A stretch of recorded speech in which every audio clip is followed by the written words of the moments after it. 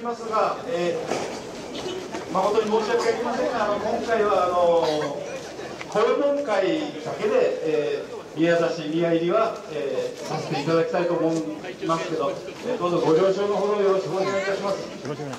それではあのまず当神社執刀総裁の赤松氏よりご挨拶をいただきます。え皆さんおはようございます。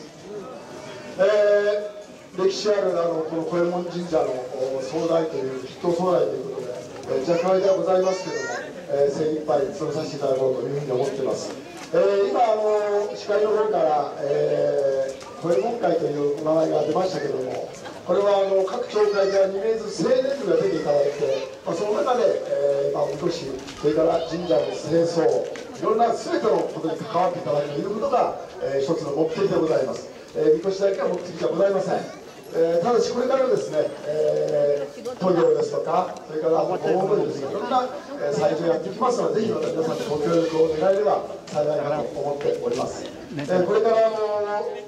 今日は2時間余りでございますけど3時間ですかね、えー、うちに塗料していただいて、えー、まあきちっとですね。やっていただければ幸いなと思います、えー、来年、えー、開催ということになっておりますけどもこれは、えー、まだ決定ではございませんけども一応来年出す予定でございます。私ども奈良町会で今こう運営しております。奈良町会と三条会の三条団体ということで運営しておりますので、えー、その皆さんと責任者の方とお話し合いしましてやっていきたいというふうに思っていますのでぜひご協力のお願いを申し上げたいと思います、えー、今日はどうもありがとうございましたよろしくお願いします。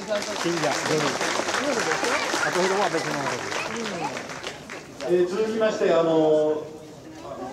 我が神社の、えー、小右衛門会の、えー責任代表者であります川津さんに、えー、一つご挨拶を皆さんおはようございます、えーまあ、今回、えー、このことが出まして非常に、えー、代表ということになりました、えー、まず本当に初めてのことなので、えー、この宮からこういう形で、えー、懲戒を投与す。るというのはないので今回成功すれば、えー、これが影祭りの時は続いて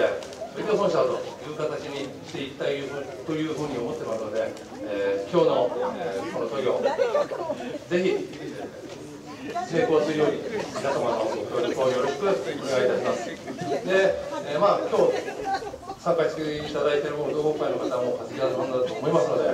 えー、細かい点はいません、えー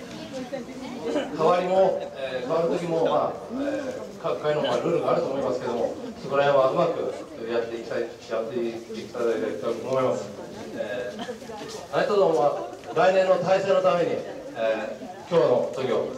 成功したいと思いますのでよろしくお願いいたします、